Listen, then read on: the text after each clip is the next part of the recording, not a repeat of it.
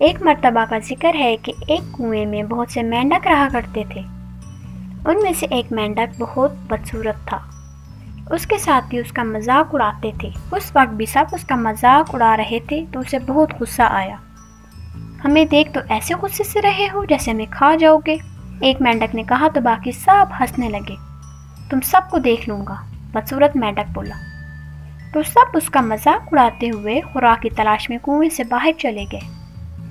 उनके जाने के बाद बदसूरत मेंढक सोचने लगा कि उनसे कैसे बदला लूँ। फिर वो भी कुएँ से बाहर आ गया। सामने उसे एक सांप नज़र आया तो मेंढक ने उससे कहा, क्या तुम मेरे दोस्त बनना पसंद करोगे? क्या तुम्हें ये मालूम नहीं कि सांप मेंढक को खा जाता है? सांप ने उससे पूछा। मुझे मालूम है, लेकिन अगर तुम मुझसे दोस्ती कर लो तो मैं तुम्हें ऐसी जगह ले जा सकता हूँ जहाँ बहुत से मेंढक हैं। बदसूरत मेंढक ने कहा। ठीक है, तुम मुझे वहाँ ले चलोगे, क्योंकि तुम मुझसे दोस्ती करना चाहते हो इसलिए। मैं तुमसे इसलिए दोस्ती करना चाहता हूँ क्योंकि मैं उन सब मेंढकों से बदला लेना चाहता हूँ, जो हर वक्त मेरा मज़ाक उड़ाते हैं। मेंढक ने सांप को बताया तो सांप ने जवाब में कहा, ठीक है दोस्त, चलो मैं तुम्हारा बदला ज़रूर लूँगा। चनाचा मेंढक सांप को अपने साथ कुएँ में ले गया, जहाँ बाकी मेंढक उन दोनों को देखकर खौफजदा हो गए।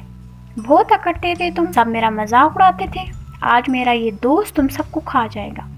बदसूरत मेंढक के कहते ही सांप ने एक एक मेंढक को हड़प कर लिया। उसके बाद उसने बदसूरत मेंढक को गुस्से से देखा, जो उसे दोस्त समझकर कुएँ में लाया था। फिर सांप ने उससे कहा, अब मैं तुम्हें भी खा जाऊँगा।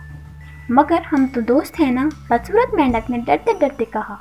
सांप किसी का दोस्त नहीं होता, बेवकूफ़। अब मैं तुझे भी खा जाऊँगा, तुझे भी नहीं छोड़ूँगा।